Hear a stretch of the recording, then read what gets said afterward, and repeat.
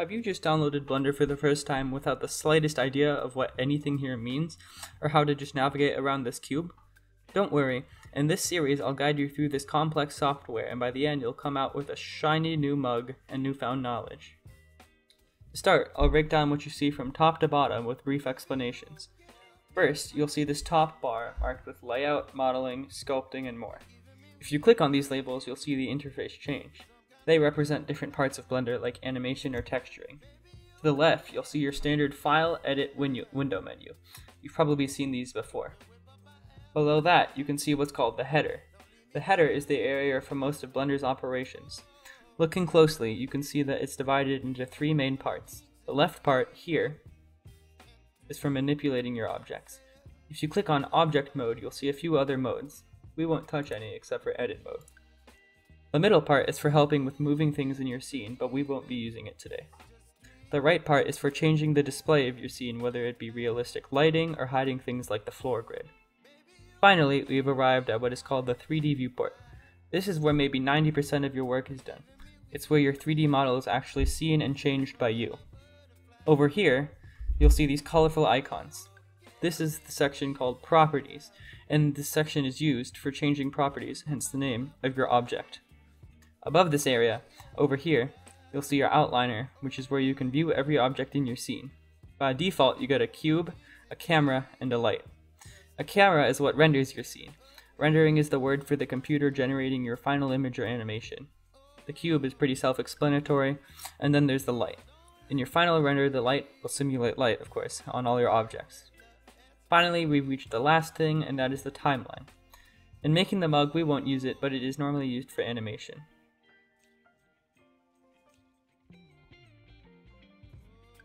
With that out of the way, let's get started.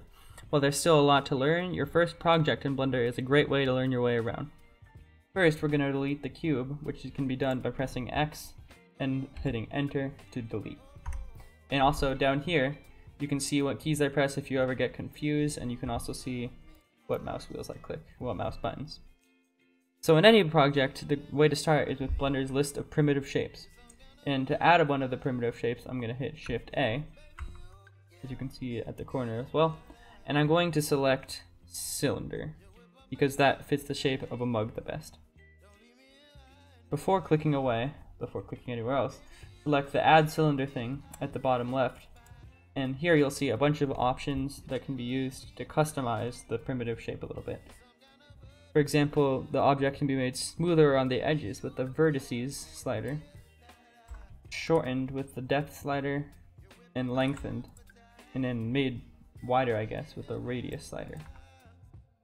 For the mug, I would recommend setting the vertex count to 64. 32 is fine if your computer is a little bit slower than the most and than most.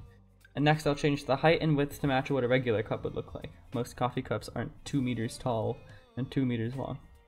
Let's do 9 centimeters for the height, and to do centimeters, all you have to do, instead of typing like 0.09 meters or whatever, just type 9 space cm and that will convert it to centimeters automatically. And for the width, let's do maybe 4.5 cm for centimeters. Next, let's turn the cylinder into the body of a mug. To do this, do one of two things. Hit the tab key or click object mode at the top left and select edit mode.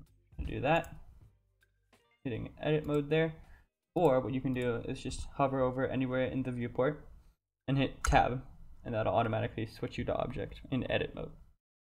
And I'm going to also zoom in so I can see it a little better. Take a quick pause, I should say that in Blender, objects have faces, edges, and vertices, almost like 2D shapes, but just 3D because they can go forward and back. To convert primitive shapes into more complex objects, we alter these three elements. Begin by clicking on the top face to select it, and when you started, you were actually in vertex mode, um, which is the corners, and you cannot select the top face because you're not, the top face isn't a vertice. So I'm going to do is go to the top left up here and select this because this is vertex mode, this is edge mode, and this here is face mode. And then I'm going to select the top face and if you do that correctly there should be a white outline and it should turn this dull orange color.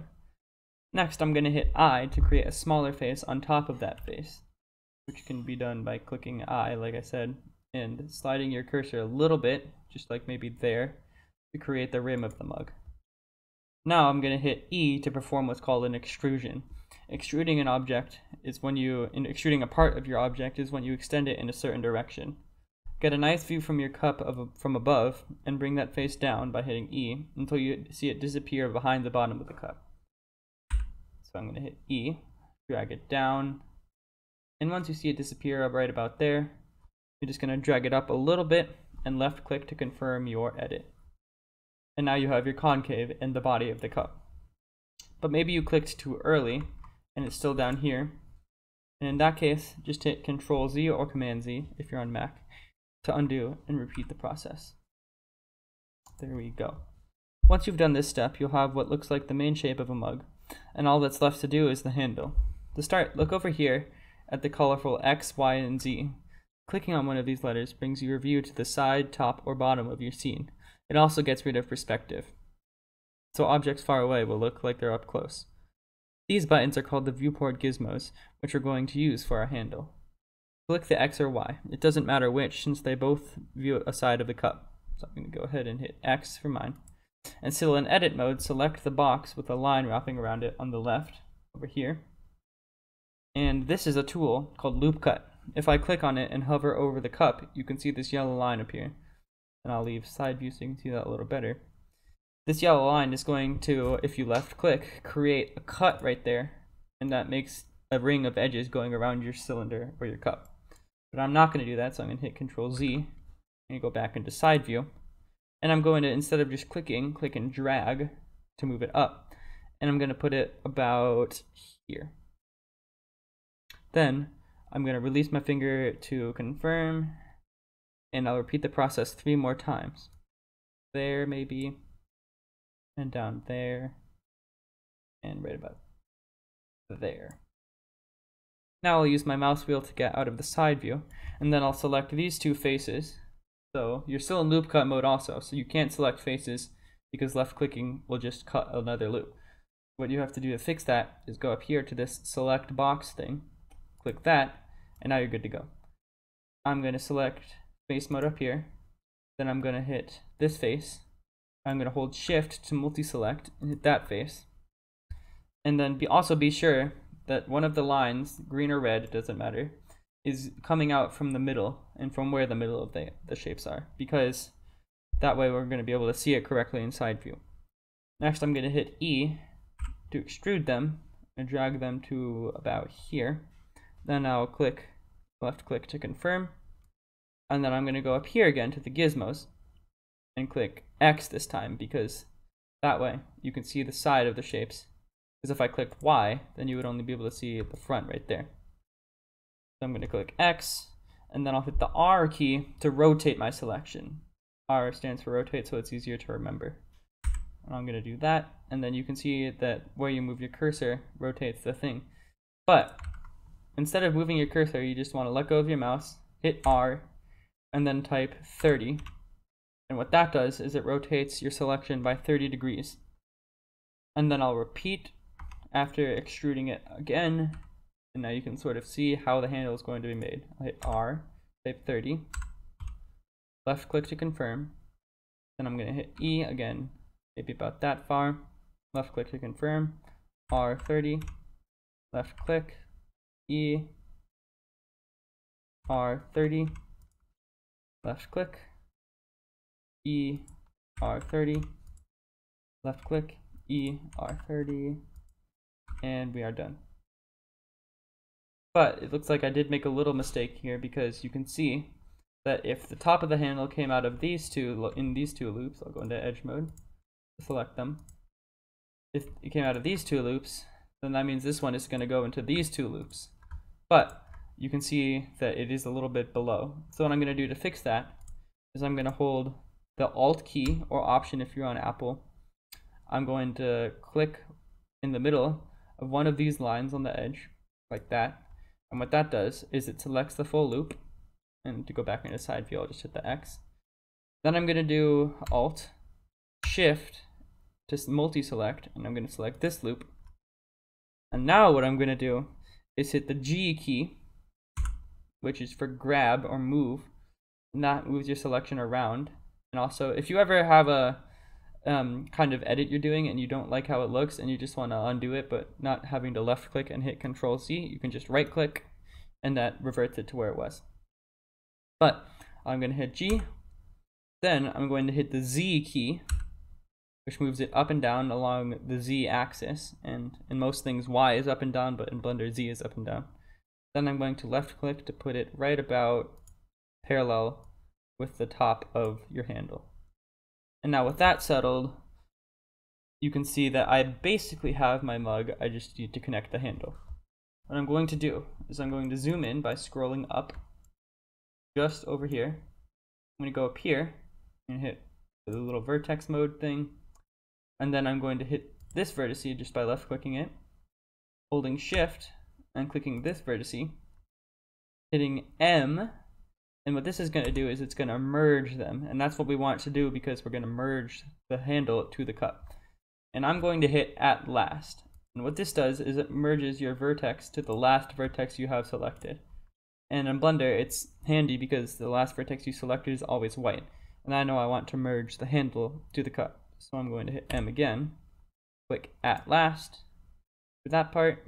And then for this last one, I'm going to hit this one, shift select, M, at last. And now, almost, and we're almost done, we just have this part of the cup to go. So I'm going to do the same thing. I'm going to hit this vertice, and this vertice, M at last. You might have to move a little bit to see it. M at last. And finally, M at last. And I'm going to hit tab to go back into object mode. And our cup is looking pretty good now. It's almost done, but there's still one issue.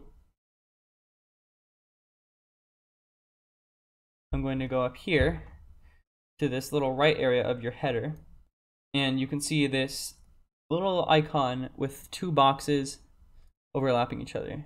And when I click that, you'll see that it goes into this x-ray mode where I can see through my object. And now you can sort of see it here. You can see how over here there are lines that go like this.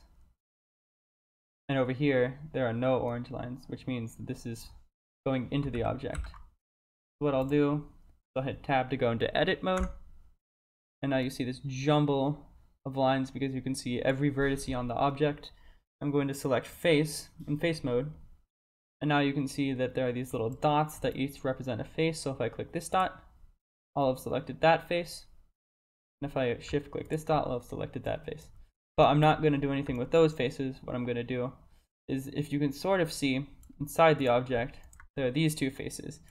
And normally when you're modeling, you don't want any faces to be inside the object. So I'm just gonna hit X, left click on faces to delete those, and our issue is solved. So I'm gonna hit tab to go back to object mode. I'm gonna hit the X-ray option to go out of X-ray mode. And your mug is 90% done, but most mugs don't have this blocky appearance to them. Most handles aren't cubular, and you normally can't see the individual faces on a real life mug. So now I'm going to use this properties area on the right, and I'm going to go to this wrench, and I'm going to add a modifier. Now what a modifier is, is almost a change you make to your object that's not actually there. And the best way to learn how that and how that works is just by adding one. So I'm going to hit up here, add modifier. I'm going to go under generate down to subdivision surface. I'm going to left click that.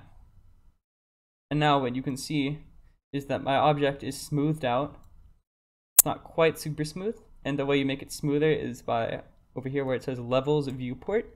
You can change that to numbers like 2 or even 3. And now to see how the modifier actually applies the change, you can just click the object, tab to go into edit mode, and you see how your faces are all still here, it's just that the modifier makes it look like there's like it makes it look like it's smoother when it's actually not.